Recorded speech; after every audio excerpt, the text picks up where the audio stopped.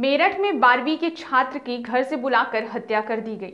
रविवार देर रात उसका घर से कुछ दूर जंगल में शव मिला है। छात्र के शरीर पर धारदार हथियार के जख्म भी मिले हैं। हत्यारा कौन है? हत्या का कारण क्या है? पुलिस परिजनों से इस बारे में पूछताछ कर रही है। मामला फलावदा थाना क्षेत्र के गाँव नंगला हरेरू का है। हत्यारे जंगल में लड़के का शव फेंक गए थे। वहाँ से गुजर रहे दो राहगीरों की नज़र उस पर पड़ी।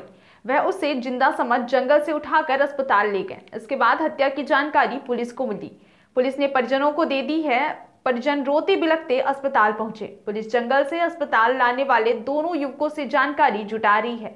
मृतक छात्र का नाम राजदीप, उम्र सत्रह वर्ष है। वह गाँव के किसान इंटर कॉलेज में बारहवीं में पढ़ता था। परिवार में दूध का काम है। रोज़ाना की तरह राजदीप रविवार शाम के वक्त घर से डेयरी पर दूध देने गया था। डेयरी पर दूध देने के बाद राजदीप घर लौटा, इसके बाद दो युवक घर आकर उसे बुलाकर ले गए। काफ़ी देर बाद वो घर नहीं लौटा। देर रात होने के बाद परिजनों को चिंता हुई। कुछ समय बाद किसी ने सूचना दी कि उसका शव सरकारी अस्पताल आया है। अस्पताल पहुँचे परिजनों की सूचना पर पहुँची थाना पुलिस परिजनों से पूछताछ कर रही है। बताया जा रहा है कि रात को राजदीप का सब जंगल में सड़क किनारे पड़ा था। उधर परिजन बेटे की खोज कर रहे थे। रास्ते से बाइक से गुजर रहे कुंडा निवासी दो लड़कों ने सबको देखा। लड़कों को पहले लगा कोई ज़िंदा आदमी गिर पड़ा है। दोनों युवक राजदीप को उठाकर नजदीकी सरकारी अस्पताल ले गए। वहाँ डॉक्टरों ने उसे मृत घोषित कर दिया। राजदीप के पास से मिले आई कार्ड से अस्पताल में उसकी पहचान हुई और परिजनों को बुलाया गया।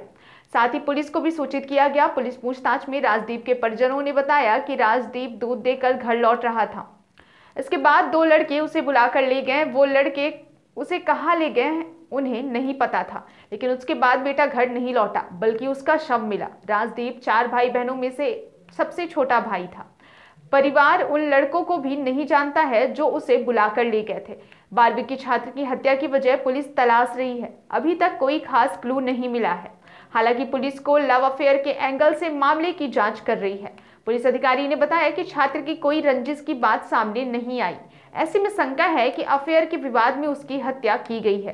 फ़िलहाल जाँच कर रही है पुलिस, मोबाइल कॉल डिटेल्स का भी पता लगाया जा रहा है।